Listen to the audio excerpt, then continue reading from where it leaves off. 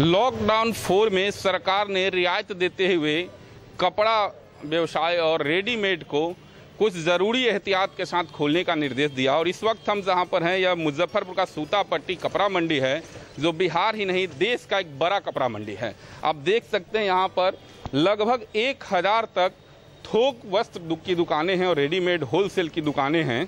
सरकार ने जो ज़रूरी एहतियात की दिए हैं इन लोगों को, उसमें निर्देश में यह शामिल है कि दुकान के बाहर सफ़ेद पेंट से गोल घेरा बनाना अनिवार्य है, ताकि जो ग्राहक आए, वो पंक्तिबद्ध और सोशल डिस्टेंसिंग के साथ कतारबद्ध रहें और सोशल डिस्टेंसिंग का पूरी तरह से पालन हो। हम यहाँ के स्थानीय दुकानदार से बात करते हैं, जो रेडीमेड के होलसेलर हैं।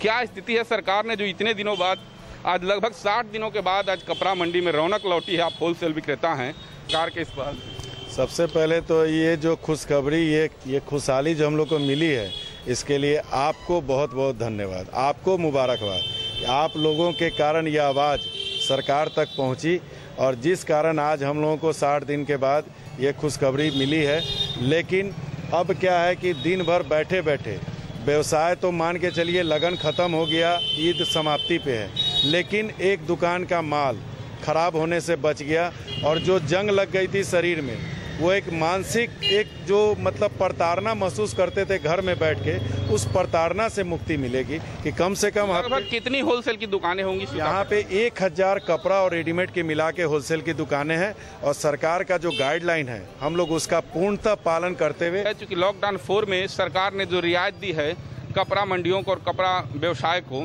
तो इससे इनके यहाँ राहत दिख रही है। आप देख सकते हैं हमारे सामने सरकार ने स्पष्ट निर्देश दिया था या पहला निर्देश था कि सभी दुकानों के बाहर सफ़ेद पेंट से गोल घेरा बनाना है ताकि सोशल डिस्टेंसिंग का पालन हो सके। गोल घेरे में खड़े हैं किस तरह से कहाँ से आए हैं और क्या ले रहे हैं? सर हम तो लोकल हैं और पर्व के लेकर थोड़ा सा साड़ी खरीदने के लिए भी से आए हैं। कुछ अन्य लोग भी उनसे हम बात करते हैं क्या खरीद रहे हैं? आज इतने दिनों बाद दुकान। ये इतने दिनों से दुकानें बंद थी हम लोग की रिटेल की दुकान है ढोली बाज़ार में। तो चूँकि यही से माल परचेस करके ले जाते हैं काफ़ी दिनों से दुकान बंद थी तो हम लोग को काफ़ी दिक्कतों का सामना करना पड़ रहा था। अब दुकान खुल गई है तो कुछ रोजी रोज़गार में आ, कुछ हम लोग की जीविका चले इसके लिए हम लोग परचेजिंग कर रहे हैं ताकि रिटेल दुकान में बेच सकें। गृह मंत्रालय के निर्देश के बाद जिलाधिकारी मुजफ्फरपुर डॉक्टर चंद्रशेखर सिंह ने भी मुजफ्फरपुर के कपड़ा मंडी और रेडीमेड की दुकानों को खोलने का निर्देश दे दिया है। सप्ताह में तीन दिन तक ये दुकानें खुलेंगी। ज़रूरी एहतियात के साथ ये आदेश दिया गया, जिसमें सबसे पहले दुकान के बाहर सैनिटाइजर रखना अनिवार्य है ग्राहकों के लिए और दुकानदारों के लिए। इसके बाद जो है, मास्क सभी के लिए पहनना अनिवार्य है। आप देख सकते हैं, यहाँ पर भी जो दिखाई दे रहा है, सूतापट्टी बिहार का ही नहीं, देश का एक बड़ा कपड़ा मंडी है। जहाँ से बिहार ही नहीं, नेपाल तक कपड़े की सप्लाई की जाती है। आज लगभग 60 दिनों के बाद यहाँ पर रौनक दिखाई दे रही हैं। यहाँ के स्थानीय दुकानदार से हम बात करते हैं। आज लॉकडाउन में पहली दिन दुकान खुली है। किस तरह से इसे देख रहे हैं? बहुत अच्छा लग रहा है। और आप लोगों ने, हम लोग के समस्याओं को उठाया भी था। वस्त्र व्यवसाय तो बहुत वाइड है। हैंडलूम रेडीमेड और ये कपड़े का व्यवसाय, लाखों आदमी इसमें व्यवसाय में लगा हुआ है। ये उनसठ दिन बाद आज दुकान खुली। तो कहाँ कहाँ तक कारोबार आप करते हैं सप्लाई? हमारा माल यहाँ से उत्तर बिहार और नेपाल जाता है। नेपाल जाता है हमारा। आप देख सकते हैं थोक वस्त्र विक्रेता हैं जो बिहार ही नहीं नेपाल तक कपड़े की सप्लाई करते हैं और काफ़ी खुश दिख रहे हैं क्योंकि लॉकडाउन में सरकार ने ज़रूरी एहतियात के तहत इस कपड़ा मंडी को खोलने का निर्देश दिया। हम आगे चलेंगे। कुछ अन्य दुकानों से भी देखेंगे रियलिटी में कि वहाँ की क्या स्थिति है। और पहला दिन है तो ग्राहकों का कितना रुझान है और मार्केट में किस तरह से रौनक दिख रही है। चलते हैं हम आगे, दूसरे दुकानों पर देखते हैं क्या स्थिति है। ज़रूरी निर्देशों में एक निर्देश यह भी है कि जो भी ग्राहक या दुकानदार दुकान के अंदर रहेंगे, वो सभी मास्क में रहेंगे। तो ये होलसेल कपड़े की दुकान है, आप देख सकते हैं।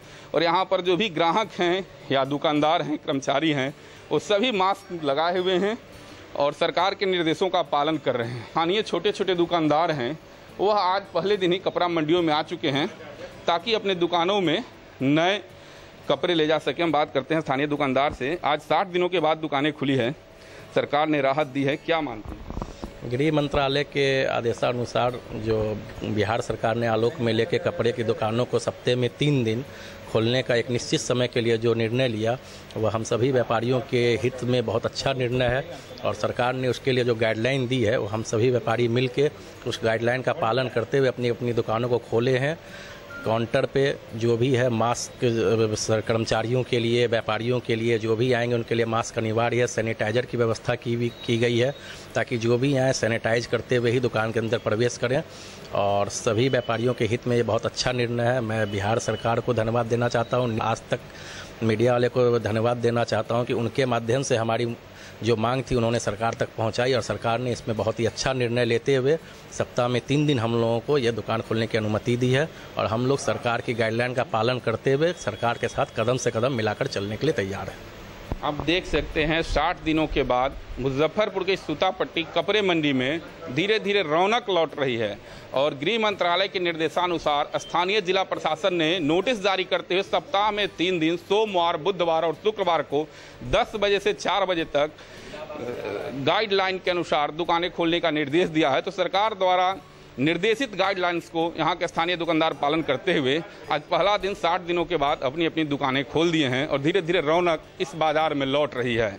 मणिभूषण शर्मा, मुजफ्फरपुर, बिहार तक।